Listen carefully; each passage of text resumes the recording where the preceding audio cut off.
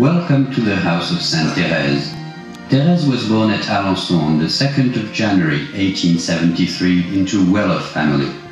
Her father was a jeweler and clockmaker, and her mother was a maker of Alençon point lace. She was the ninth of the family which mourned the death of four children, two of which were boys. In August 1877, Madame Martin died.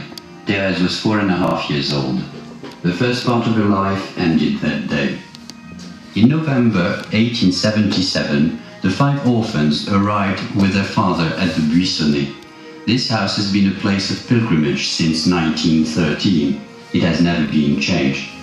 It is maintained using the gifts of the many people who come to visit the place where Thérèse spent 11 years of her childhood.